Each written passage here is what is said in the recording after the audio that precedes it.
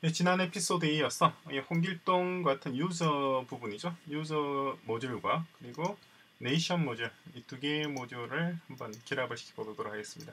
우리 이전에 여기까지 했었잖아요. 아, 티켓은 빠졌군요. 티켓도 같이 구현을 해야 되겠네요. 이세 가지 나머지들은 우리가 이전에 살펴봤었고 이번 에피소드부터 해서 유저와 네이션과 티켓을 전체 모듈에 결합하는 과정을 한번 살펴보도록 하겠습니다. 굉장히 재밌는 방식이에요. 어, 물론 저도 어, 제가 데이터베이스 전문가는 아니긴 합니다만 어, 굉장히 재밌어요. PostgreSQL, SQL을 간단히 알고 있는 문법을 대충 알고 있는 수준인데 어, 정말 재밌게 공부했습니다. 여러분들도 아마 저만큼 즐겁게 공부하실 수 있을 것 같아요. 자, 제일 먼저 하는 건 언제나 동일합니다. 어, Ecto reset. 먼저 리셋하고 그런 다음에 IEx 환경에 들어가죠. 들어가서 여기서부터 어, 진행을 하도록 하겠습니다. 이전과 동일합니다. 먼저 이전처럼 이렇게 alias부터 mount를 해주고 그런 다음에 간단하게 같이 보죠. user를 만들어서 insert하는 과정.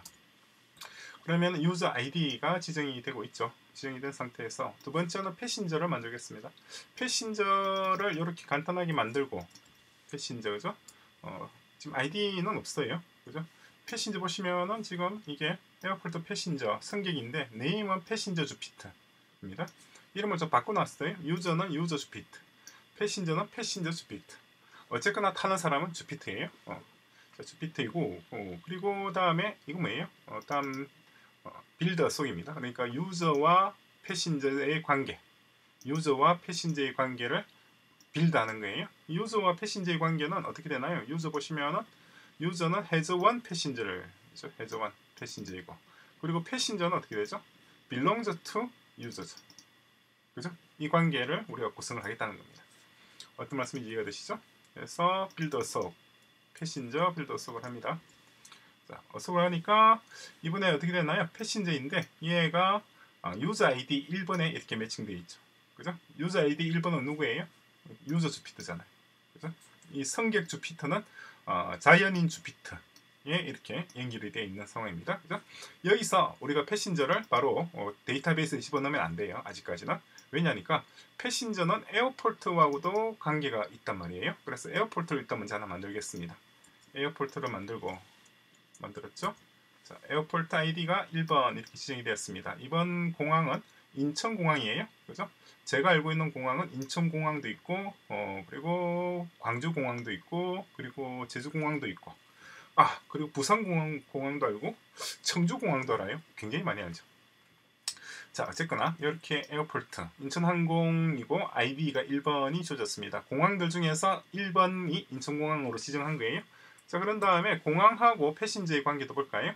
보시면 airport는 어, airport passenger, many passenger, 그죠? passenger를 여러 명 둘 수가 있죠, 그죠? 그리고 passenger 역시 어떻게 되나요?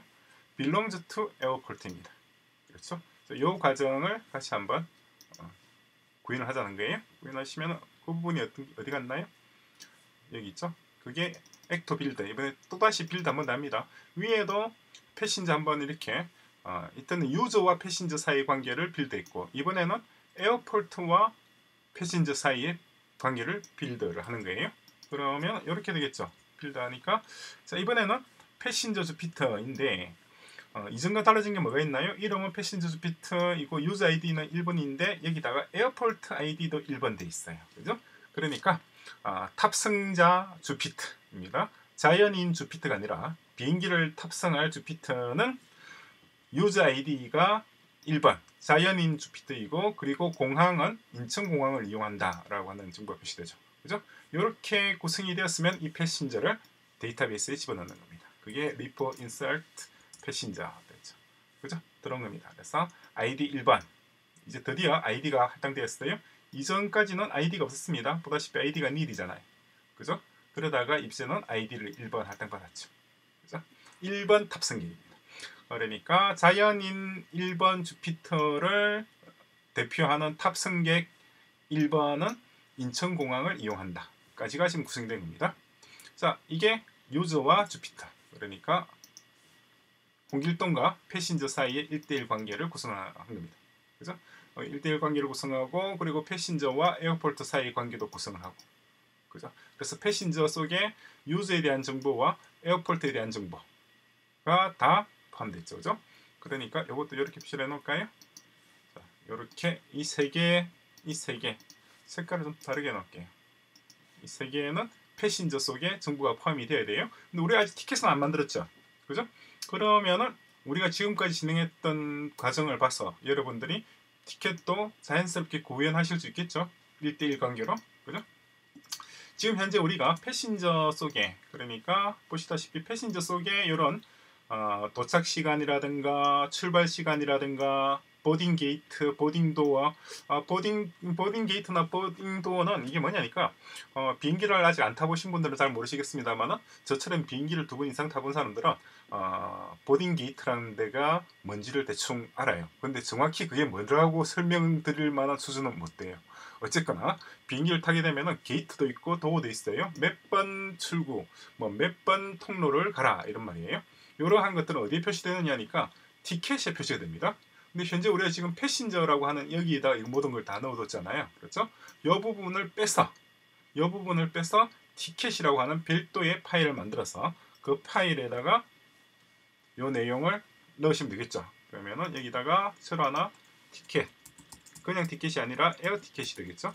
air ticket .ex 파일을 만들고 그런 다음에 여기 어딘 좀 전에 우리 passport passenger에 있던 이 내용을 몽땅 복사를 해서 어디 있나요? air ticket 붙여놓고 그런 다음에 필요 없는 것들은 싹 다 지워버리고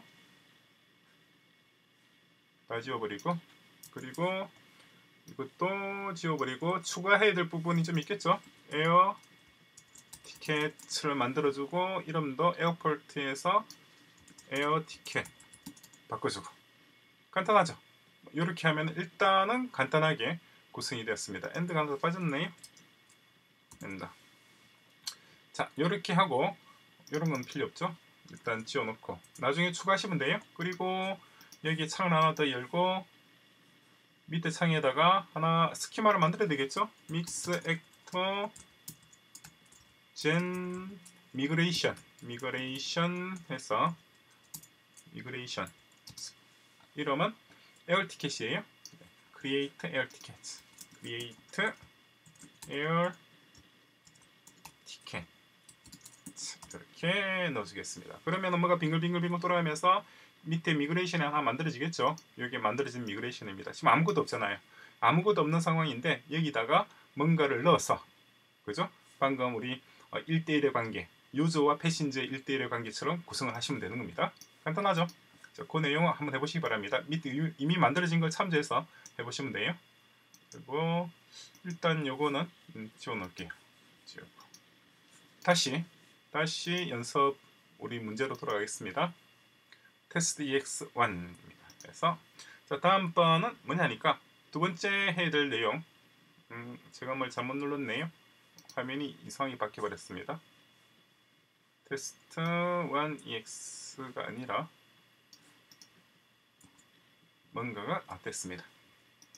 자 이번에는 이 과정을 했을 때 다음번에 할 것은 네이션 국가와 요 뭐예요 공항공사 사이의 관계를 1대1 관계로 만들어야 될 거 아니에요 그죠? 그 과정도 같이 한번 보도록 하겠습니다. 이것도 뭐 비교적 단순해요. 단순하니까 연습 문제 삼아 하시면 됩니다. 어, 제가 했던 걸 보시고 여러분들도 한번 해보시기 바랍니다. 먼저 한국을 만들었습니다. South Korea. 그리고 South Korea를 데이터 속에 넣어야 되겠죠? 하고 자 한국을 넣었어요. 지금 nil 아이디가 nil이다가 DB에 넣게 되면 아이디가 1번이에요. 그러니까 국가 데이터베이스에 들어간 첫 번째 국가가 South Korea. 어, 우리가 잘 알고 있는 그 나라입니다. 그런 다음에 자 코리아 에어포스 코퍼레이션이죠. 이것도 마찬 하나 만들어야겠죠. 공항공사입니다. 공항공사인데 어, 한국 공항공사를 하나 만들었습니다. 그죠? 일본 공항공사도 아니고 어, 미국도 아니고 한국 공항공사입니다. 아직까지 보다시피 어, 이 공항공사 airport national airport에 있는 필드 값들 중에서 값이 들어가 있는 것은 name 하나밖에 없습니다. 아이디도 없고 airport 아이디도 없고 nation 아이디도 없어요. 그죠? 우리가 지금 넣으려고 하는 것이 nation 아이디도 넣고 다음에 자기 아이디 이 아이디도 넣고 airport 아이디도 넣을 거예요. 그죠? 넣을 텐데 자, 첫 번째 마찬가지 build assoc에서 이 한국공항공사가 한국과 어떤 관계인지 를를 지정하는 겁니다. nation에 들어와서 보시면은 nation은 has one national airport 가지고 있고, 그죠? 그리고 national airport는 belongs to nation이죠. 그죠? 그러니까 그 관계에 맞춰서 한국 얘가 주어고 얘가 목적어가 되죠. 한국은 한국공항공사를 공항공사를 가지고 있다 이 말이잖아요. 그런 관계를 만들어주는 겁니다. 만들어주고 자 만들어주니까 뭐가 떴나요? 네이션 아이디 1번이 들었습니다. 그죠? 그러니까 한국공항공사와 관계되는 국가가 네이션 아이디 1번이라는 거죠. 이 1번이 누구예요? 우리가 알고 있는 바로 그 나라입니다. 그죠? South Korea죠. 그죠? 자, 두 번째, 이거로 끝이 아니에요. national airport 보시면은 belongs to가 nation에만 belongs to가 되는 것이 아니라 airport도 belongs to 하고 있죠. 그죠? 그러니까 여기에 대한 belongs to airport에 해당되는 context도 구성해야 됩니다. 그게 두 번째 context예요. 네. 이두 번째 얘도 마찬가지. 복사해서 넣어주죠. 넣어주니까 이제 또 추가된 게 있죠. airport 아이디가 추가되었습니다. 위에는 airport 아이디가 nil이었잖아요. 그런데 이번에 airport 아이디가 1로 됐죠. nation 아이디도 1번 됐죠. 이제 자기 아이디만 없어요. 그죠? 자기 아이디를 만들어주는 방법이 repo insert에서 데이터베이스에 넣게 되면 이제 자기 아이디도 들어갔죠. 그죠? 따라서 Korea Airport Corporation이라고 하는 한국공항공사라고 하는 것은 어, airport 아이디 인천공항을 가지고 있고 그죠? 인천공항이 소속돼 있단 말입니다. 한국공항공사에 그리고 소속 한국공항공사 소속돼 있는 국가는 Korea, South Korea라는 것을 우리가 어, 표시할 수가 있습니다. 자 이렇게 해서 어, 이전에 봤던 내용들 중에서 이 부분과 그리고 이 두 가지를 같이 한번 추가를 해봤습니다. 어, 티켓도 여러분들 한번 연습 삼아 어, 추가를 해보시면 됩니다.